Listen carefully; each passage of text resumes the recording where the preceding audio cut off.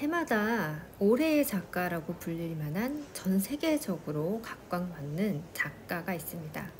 오늘은 그 작가 한 분을 소개해 드릴 거예요. 지금 뉴욕 모마에서 지금 막 오픈한 전시예요. 아주 따끈따끈한 전시인데요. 캐데 콜비치의 전시를 한번 보시면서 이 작가에 대해서 한번 알아보도록 하겠습니다.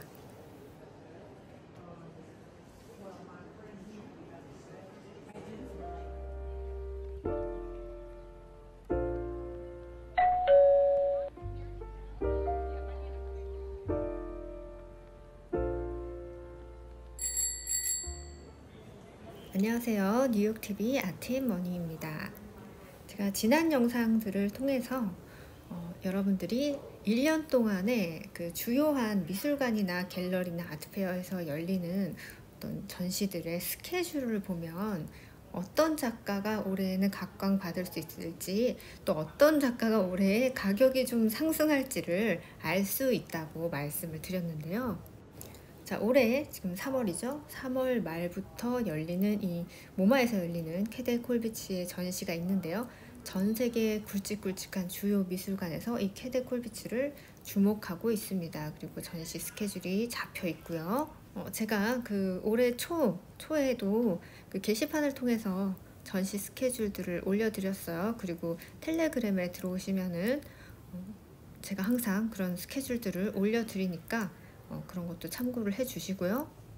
얼마 전에 열렸던 프린트 아트 페어에서도 이 콜비치의 작품이 나왔죠. 그 작품을 제가 소개를 해 드렸는데 한 해 동안 열릴 전시 스케줄을 이렇게 보면서 계획과 이 흐름을 파악하는 것이 굉장히 중요해요. 마켓이라는 것은 굉장히 다양한 요소들로 움직이지만 큰 흐름은 언제나 바뀌지 않습니다. 이 캐데 콜비치 같은 경우도 이미 작고를 하셨고 또 작품이 대부분이 이제 이 애칭, 파나 기법을 많이 사용했고 그리고 드로잉, 목탄이나 콘테를 사용한 드로잉이 많기 때문에 캔버스에 그려진 작품들, 페인팅들에 비해서 이 작품의 가치에 비해 유통이 많이 이루어진다거나 마켓에서 아주 각광을 받는다거나 한 적은 없습니다. 하지만 이 작가의 작품이 너무 좋고 너무 중요한 작가이기 때문에 어, 케테 콜비츠 같은 경우는 베를린에 케테 콜비츠 미술관이 따로 있습니다. 그리고 history에서 아주 중요한 작가이고 이렇게 요즘 같은 경우는 작고하신 또는 아주 연로하신 여성 작가들 어떤 history에서 꼭 주목을 했어야 하지만 주목을 받지 못했던 여성 작가들을 지금 세상 밖으로 끄집어내고 있는 작업을 하는 중이기 때문에 어, 올해에는 이 캐데 콜비치가 주목을 받고 있습니다. 이 콜비치의 작품 자체가 이렇게 어려운 작품은 아닙니다. 그냥 딱 보면은 뭘 그렸구나 알 수 있는 작품들이고 굉장히 표현주의적이기 때문에 그 감정을 바로 느낄 수 있는 작품이기 때문에 별도의 뭐 해설이라던가 개념적인 이야기들이 필요 없는 작품이죠. 재료라던가 또 표현 방법 자체가 아주 새롭거나 이해가 안 가는 그런 좀 생소한 어떤 걸 사용한 것이 아니고 우리에게 너무나 친숙한 그런 재료들을 사용했기 때문에 어, 이 작가가 살았던 background 그리고 개인적인 삶들만 이해를 한다면 어, 이 작품을 아주 깊이 있게 이해하실 수가 있을 것입니다. 자, 콜비츠의 작품은 아주 일관성 있게 거의 주로 뭔가 경고를 한다든지 탄식, 감정의 슬픔 같은 것들을 얘기하고 고발하고 그런 메시지를 담고 있죠. 케데 콜비치는 1867년에 태어나서 1945년에 사망하셨습니다. 어, 작가가 생존해 있을 시기에는 이런 평가를 받았다고 해요. 프로레탈리아의 어떤 실존을 묘사하는 작가다라고 평가를 받았지만 작가는 이렇게 얘기했습니다. 나는 그냥 내 삶을 삶을 그린 것일 뿐이다 라고요. 어린 시절에는 굉장히 진보적이고 유복하게 곱게 이렇게 자랐는데 전쟁이 터지면서 아주 삶이 힘들어졌습니다. 가족들이 계몽주의자였기 때문에 투쟁하는 그런 환경에서 자연스럽게 자라게 된 거죠. 그래서 거기에 많은 영향을 받았고 그 그림에도 이 그림에도 그런 영향들이 고스란히 담겨져 있습니다. 뭐 한국 같은 경우도 마찬가지겠지만 이분이 지금 1800년에서 1900년 사이를 살아오신 분이잖아요. 여성이 직업을 갖는다는 것 그것이 흔한 일은 아니었죠. 뭐 서양이라고 별반 다르지 않았습니다. 마찬가지였죠. 여성의 사회 활동은 굉장히 제한적이었습니다. 하지만 콜비치의 부모님들은 계몽주의자셨기 때문에 어, 콜비치에게 그나마 이 교육의 기회라든지 그림을 그릴 수 있는 기회는 주어졌는데요. 자, 그렇다고 해도 어, 지금의 상황과 그 상황을 비교할 수는 없을 거예요. 콜비츠가 뮌헨에서 미술 공부를 했었는데 그 미술 교육을 받던 시기에 어, 자연주의적인 자연주의적인 풍경화가 굉장히 유행이었습니다. 그 공부를 하던 당시에 굉장히 소박한 일상을 표현하는 거죠. 뭐 감자를 캐는 소녀라던가 오이를 깎는 여성의 모습이라던가 뭐 바느질을 한다거나 책을 읽는 그런 모습들 아주 일상적이고 소박한 그런 어, 일상적인 내용이 담긴 그림들이죠. 이런 작품을 그리는 작가들 중에 리버만이라는 작가가 있었는데 특히 이분에게 많은 영향을 받았습니다. 자, 이 캐데 콜비츠가 이렇게 그림을 그리던 이 젊은 시절에 어떤 다른 예술이 또 어, 유행이었냐면 유명했냐면 에밀 졸라 여러분 아시죠? 에밀 졸라의 소설이 문학 작품이 아주 대히트를 치고 있었습니다. 그래서 이 에밀 졸라의 어떤 소설에 나온 한 장면을 이 콜비츠가 묘사를 해서 사파처럼 그리고 이런 것들을 좋아했어요.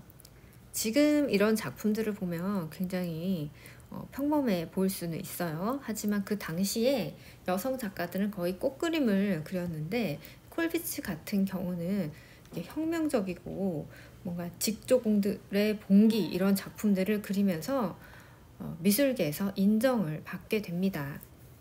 파격적인 작품을 전시회에 출품을 하면서 어, 미술계에서 인정을 받게 되지만 당시에 남녀 차별이 좀 심했기 때문에 음, 훈장을 받지는 못했어요.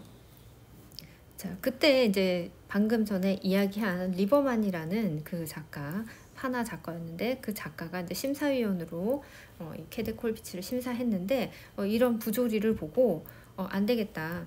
어, 이런 재능 있는 여성 작가들이 전시회에 참여할 수 있도록 해야겠다라고 생각하면서 세세시온이라는 분리파를 형성합니다. 어떤 조직, 그룹을 만들죠. 그래서 전시회를 계속 해나갑니다.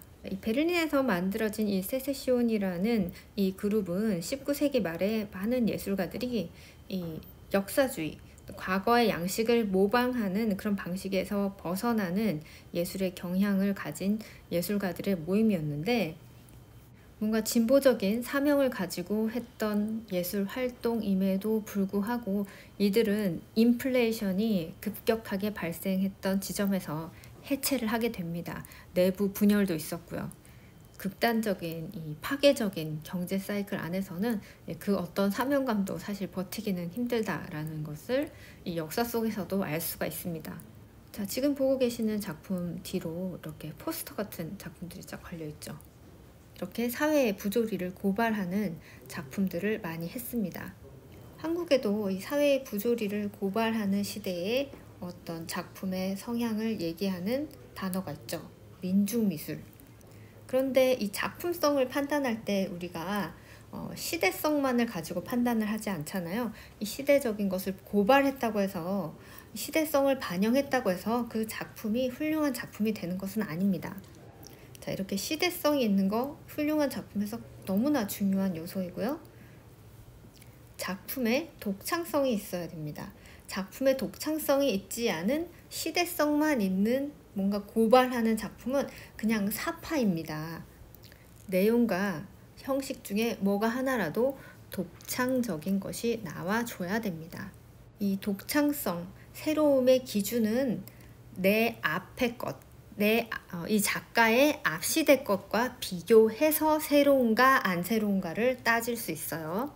자, 그럼 콜비츠 같은 경우는 이렇게 판단할 수 있겠죠.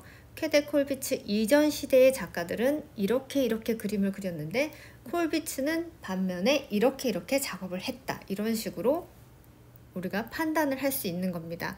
이 작품이 새롭고 독창성이 있다 없다는 앞선 시대에는 왕이나 귀족을 그리는 것이 그림, 미술이었는데 그 대상, 이 그림 속의 주인공을 일반인으로 바꾼다든지 전시장에는 절대 전시할 수 없을 것 같은 변기와 같은 레디메이드 제품을 들고 와서 전시장에 떡하니 전시를 한다든지 이렇게 사람들에게 세상을 보는 관점을 바꿔주는 새로움을 제시하는 것이 바로 독창성입니다. 콜비치는 세계 제2차 대전으로 아들을 잃었습니다. 그리고 나치들의 박해 속에서 다른 가족들도 잃었고요. 이 처절하고 슬픈 이야기들, 주변 사람들의 얼굴, 자신의 자화상을 통해서 아주 잘 표현되었는데 이것은 콜비츠가 선택한 재료들에 의해서 더 잘 표현이 되었습니다. 콜비츠가 처음부터 파나 작업만 했거나 아니면 뭐 목탄이나 콩테 같은 것들을 사용하는 드로잉 작품만 했던 것은 아니고요. 유화로 작업을 했지만 본인에게 이 검정색 잉크를 사용하는 이 재료가 본인이 표현하고자 하는 어떤 자신의 내용과 아주 적합하게 일치했기 때문에 이 재료를 선택한 것입니다. 당시의 시대적인 상황과 이 background 그리고 당시 사람들의 삶, 이 민중들의 삶들을 표현해야 되는데 거기에 유화가 적합하지 않았던 거죠. 자, 그래서 그런지 몰라도 이 작품에서 느껴지는 이 감정들이 굉장히 처절하고 고통스럽고 아픈 어, 그 마음이 다 느껴질 정도예요. 이런 명작을 볼 때면 어, 많은 컬렉터들, 진지한 컬렉터들이 그렇겠지만 마켓의 상황과는 상관없이 그냥 좋은 작품을 보면 정말 하나 갖고 싶다라는 생각을 하게 됩니다. 유통되는 작품이 많지 않기 때문에 작품을 소장하는 것은 그렇게 쉬운 일은 아닐 것 같고요. 판화 작품 같은 경우는 가격이 아주 비싸지는 않습니다. 어, 하지만 그 중에서도 좀 시그니처, 이 콜비츠의 작품 중에 가장 알려진 작품, 뭐 아이를 안고 우는 어머니라던가 이런 작품 같은 경우는 어, 좀 찾기가 쉽진 않아요. 그냥 시장에 나오면 바로 팔려버립니다. 올 초에 프린트 페어에서는 이 작품을 구매할 기회가 있었는데 어, 앞으로는 잘 모르겠어요. 지금 이제 모마에서 전시가 이제 되고 멤버십 이제 전시를 오픈하고 이제 일반 전시로 바뀌었거든요. 일반인에게 이렇게 공개가 되고 앞으로 올해에 이 콜피치의 전시들이 또 많이 남아 있습니다. 전 세계 곳곳에서 열릴 거예요. 이제 아주 주목받고 각광받고 더 많은 사람들에게 이 작가가 알려지겠죠? 제가 너무 주절주절 떠들어서 여러분 작품 감상에 방해가 된 건 아닌지 조금 걱정이 되네요. 자, 오늘 이렇게 이미 작고 하셨지만 우리가 꼭 알아야 할 여성 작가 쾌데 콜비치에 대해서 알아보았습니다. 그럼 다음 시간에 또 뵐게요, 여러분. 감사합니다. 안녕히 계세요.